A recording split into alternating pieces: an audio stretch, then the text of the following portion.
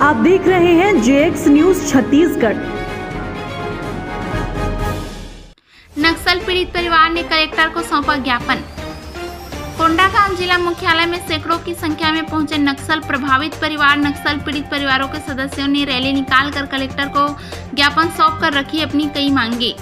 Surrender कर चुके नक्सलियों का कहना है नगद राशि के साथ उन्हें पुनर्वास योजना का लाभ नहीं मिल रहा है। प्रशासन ने मदद का आश्वासन दिया था लेकिन अब तक परिवारों को सरकार की पुनर्वास योजना का लाभ नहीं मिल रहा है। प्रशासन उनकी सुध नहीं ले रहे हैं। योजना का संपूर्ण लाभ नहीं मिलने पर छत्तीसगढ़ राज्य के नक्सल पीड़ित परिवार के द्वारा प्रधानमंत्री कार्यालय दिल्ली में धरना प्रदर्शन करने के लिए मजबूर रहेंगे। छत्तीसगढ़ जांजगीर नगर राजा भाटा से बालेश्वर को सबकी रिपोर्ट। का? अच्छा। कित, कितने समय तक नक्सली थे आप? और समर्पण किए हैं क्या आप? अच्छा क्या क्या लाभ मिला आपको?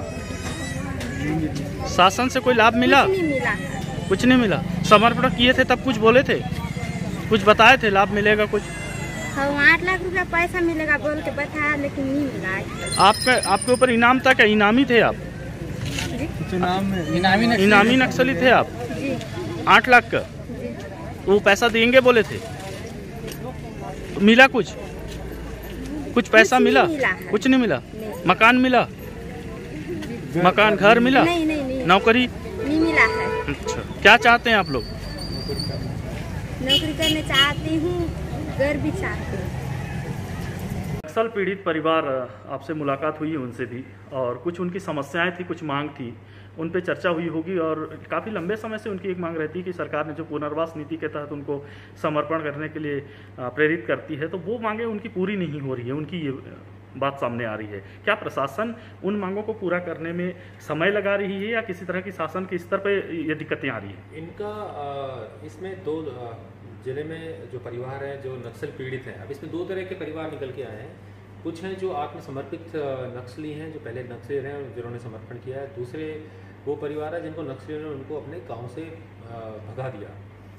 तो इन सभी के लिए जो जो त्वरित, जो इमीडिएट जो रिलीफ शासन की तरफ़ से मिलता है, वो उनको उसी समय उपलब्ध करा दिया गया था। ये क्योंकि इनमें से जो आप परिवार देखेंगे ये 2005 2006 बहुत पुराने केसेस भी हैं।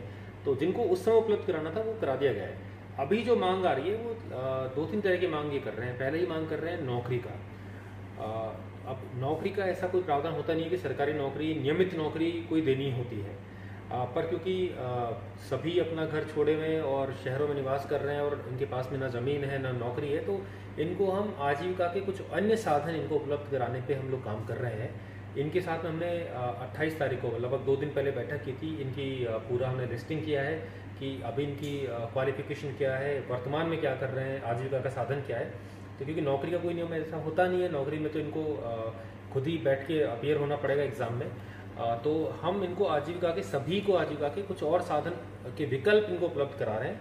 यदि इसमें ये सहमत और तैयार हो जाएँगे तो इनको वहाँ पर हम इनको काम उपलब्ध करा पाएँगे। आने वाले समय में कुछ दिनों में ये देखने को मिलेगा कि प्रशासन के कुछ लोग और हमने से लोग दो दिन पुरानी जो हमने इनके साथ में जो चर्चा की थी उसमें उनको बता दिया था कि अगले सात दिनों के अंदर हम आपको वो सूची उपलब्ध करा देंगे कि कहाँ कहाँ पर आपके लिए हम काम उपलब्ध करा रहे हैं।